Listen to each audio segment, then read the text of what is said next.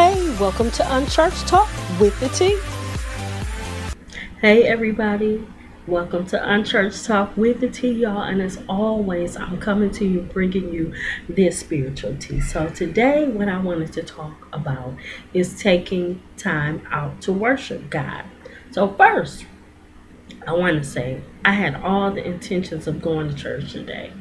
I got dressed, but unforeseen situations happen, and I didn't make it. So for those of you who go to church, when you don't go to church, you feel bad, you feel guilty, and you're just like, oh, I missed it. Oh, and you just feel like a bad person sometimes. But what I want to tell you today is that worship is not about that. Oh my God. Worship has nothing to do with us, and it has everything to do with God. Worship is something that I had on my heart all today, just thinking about worshiping, you know, just thinking about giving God the worship that He deserves.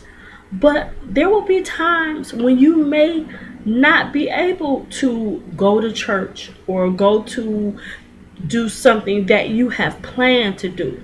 But you ever heard of that uh, saying that says, if you want to make God laugh, share with him your plans. So today, what I want to tell you is that I need you to get rid of that guilt feeling. Yeah, you might not have went to church today. You might be sick.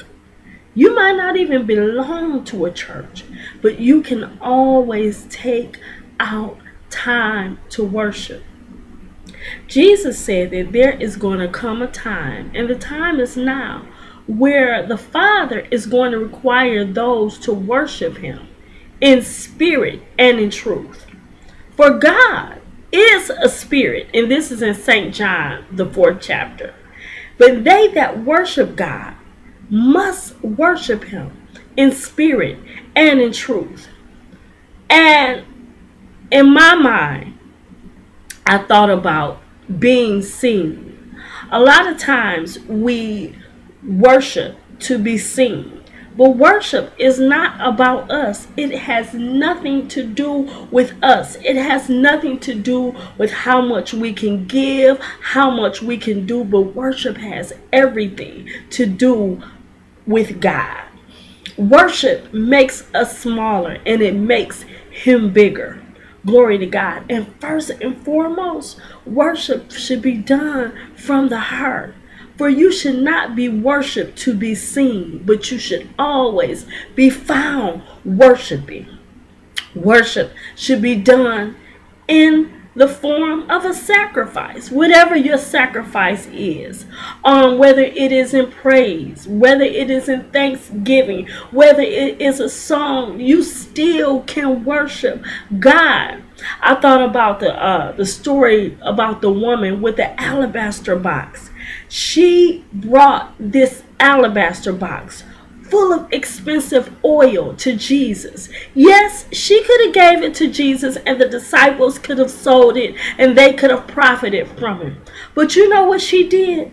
She broke the bottle open and she poured it on Jesus' feet. Now, when this happened, the disciples was like, why did she do this? That she could have sold that oil for profit for you know it was an expensive oil. But jesus said do you not know that this story this moment is going to go down for centuries to be told? Why? Why? Why is this a memorable story? Because it wasn't the the uh fact about the oil. It was the fact that she gave him her very best. Oh my God. She could have profited. She could have saved it for her retirement, but she found an opportunity. She didn't want to miss this moment of worship. And that's what I want to that's what I want to encourage you to do. Miss this moment of worship. Wherever you are, whoever you are, you may feel that you're not qualified. But what I want to encourage you to do is take some time, steal some time, grab some time to steal away and worship God for he deserves our glory. He deserves our praise.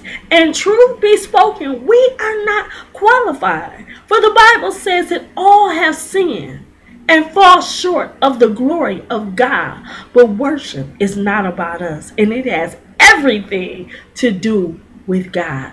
So, what I want to encourage you to do today is take the time. Take the time that you know he rightfully deserves. Take that time to worship. God bless you, and I'll see you next time to Unchurched Talk with the Tea. Don't forget to like and subscribe. See you next time to Unchurched Talk with the Tea.